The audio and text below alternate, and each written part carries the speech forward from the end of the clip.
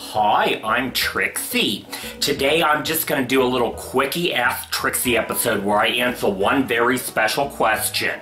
But first, oh, I have something I have to show you. I got a new fan art. This is from Beth. Oh, check this out. I love this so much.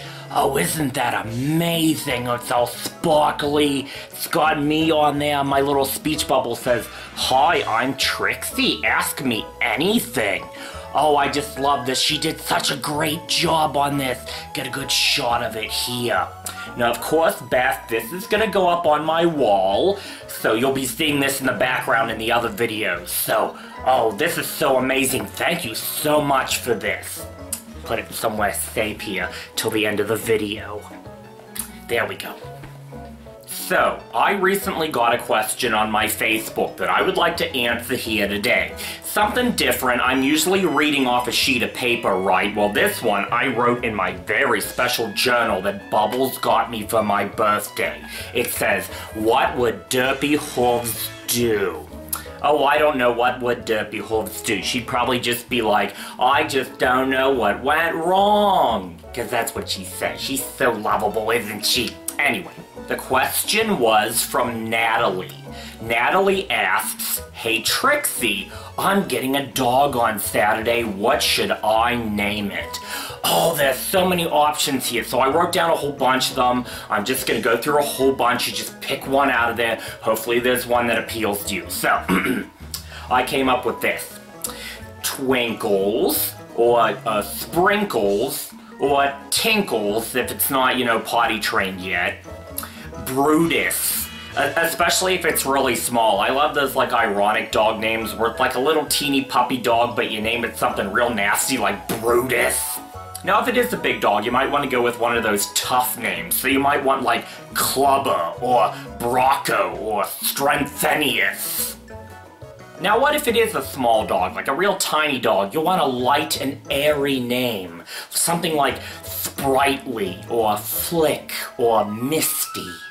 Or maybe you might want to go for like a person's name, like Ashford or Petey or Cheech. What about Stinky? I mean, let's be honest, they're gonna be at one point or another.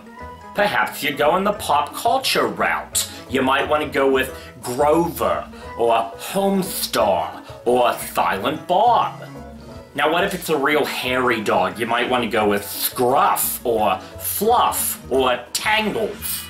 Now, what's the dog's personality like? Is it a nice dog or is it a mean, nasty dog? Because if it's a mean, nasty dog, you might want to go with a name like Stitch or Mangle or Lawsuit.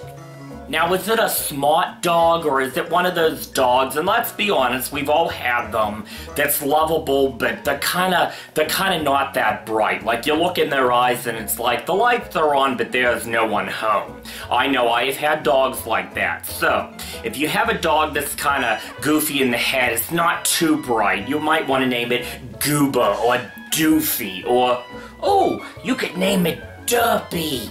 Oh, you could name your dog Derpy. Now, how old is the dog? Is it a puppy or is it like an older dog? There's so many things you can name like an old dog. You could call it Elmer or Buster or Jasper. Now, if it is a young dog, just name it Baby. I mean, come on, no matter what you name it, you're just gonna end up calling it Baby anyway. And finally, you might be one of those people that likes to name all your pets after rock stars. So here's just a few suggestions here. You could do Daltrey, or Gilmour, or McCartney, or a Zappa, or Prince, or Nesmith, or Ozzy, or Village People Cowboy. Actually, that one's kind of wordy. That one's kind of wordy. Okay, so, if anyone was looking for help in naming their dog, I hope I was able to provide that help. I have been Trixie. If you have a question for Trixie, which is myself, leave it in the comments down below. I also have a Facebook and an Instagram. I'll leave the links down in the description down there. And, oh, hold on, I want to hold this while I sign off here.